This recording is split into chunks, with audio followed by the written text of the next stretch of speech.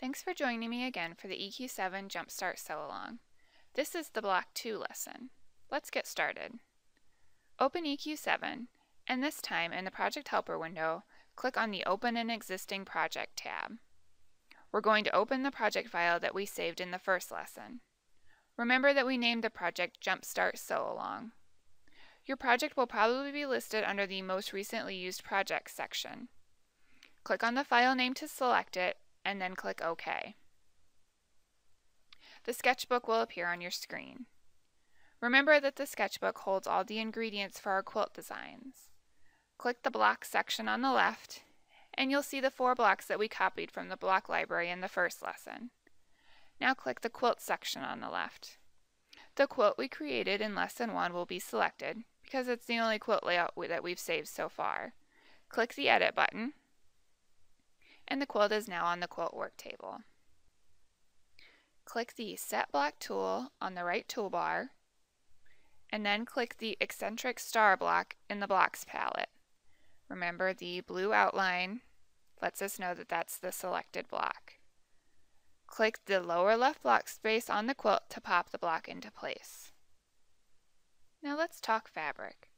Click the paintbrush tool on the right toolbar the fabric palette appears with the default group of fabrics the EQ7 always starts with.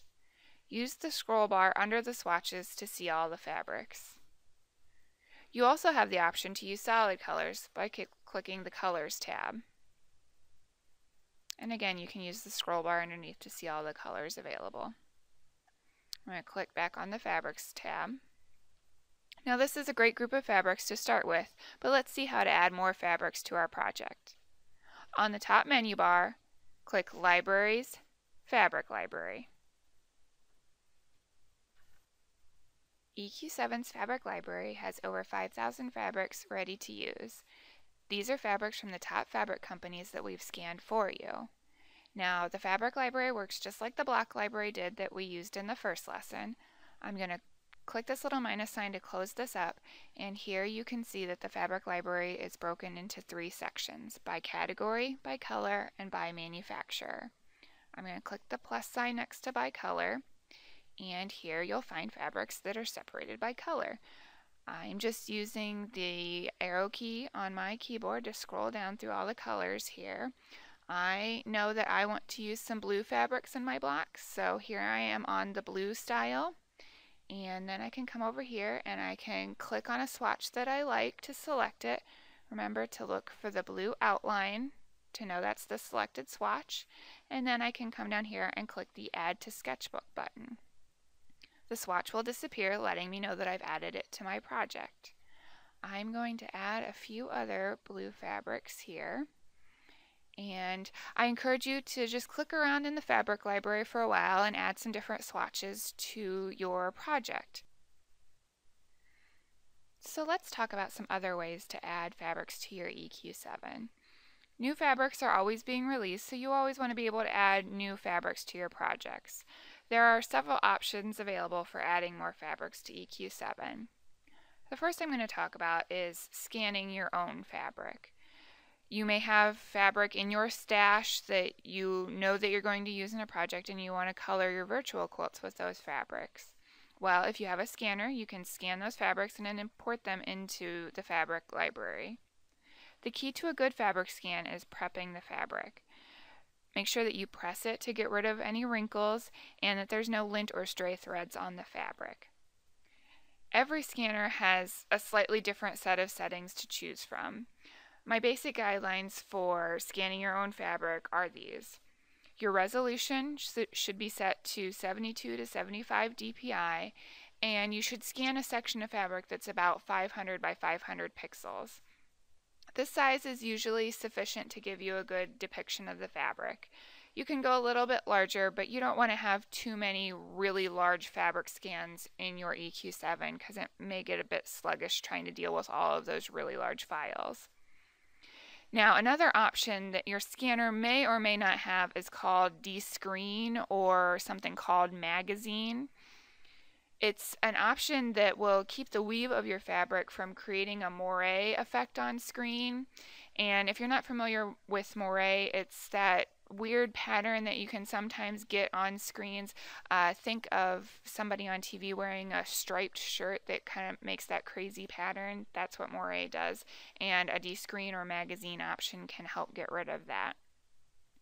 And once you've scanned your fabric file, you should save it as a JPEG file. I created a folder on my computer and called it My Fabric Scans to hold all my fabric files. After you've saved your scans, here's how to import them into EQ7. Here in the Fabric Library, click the Import button and choose From Image Files. Here, next to Look In, I can navigate to the folder where I've stored my scans. Like I said, I like to keep all of mine in a folder called My Fabric Scans. Here are the three files that I want to import.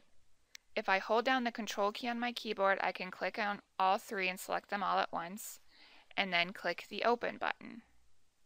Once they're here in the import results, you want to make sure that, that you still click the Add to Sketchbook for all three of these files to add it to your project.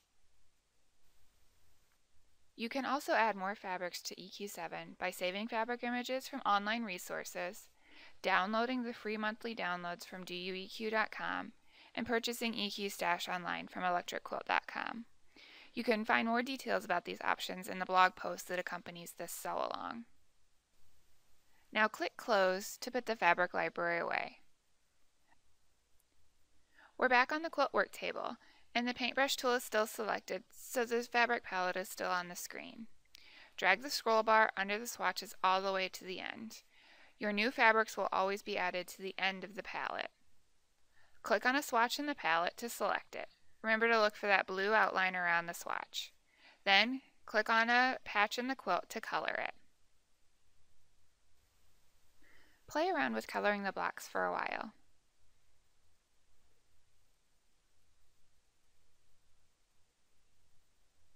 If you don't like the way something looks, just choose a different fabric and click again.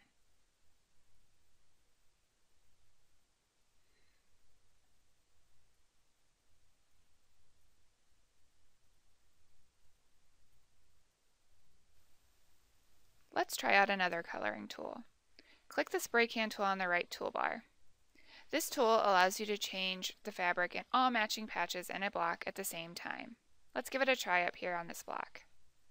All of those yellow patches change to white in one click.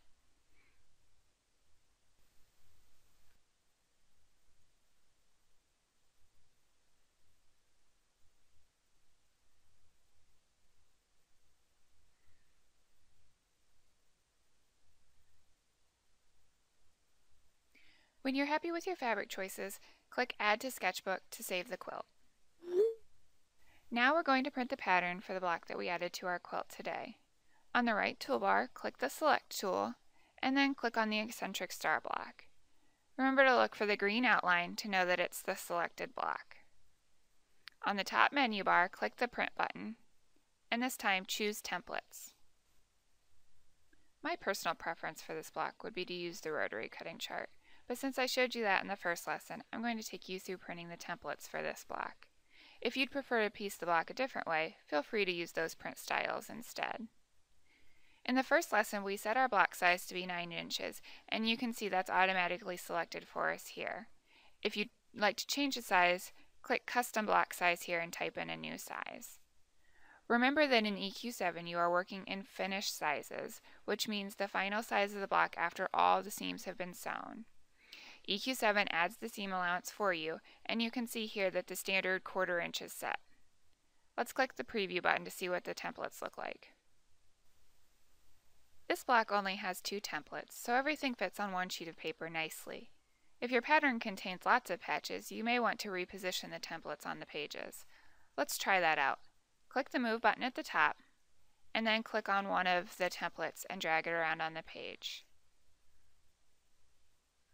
Now you also have the option to delete unwanted templates from the print preview.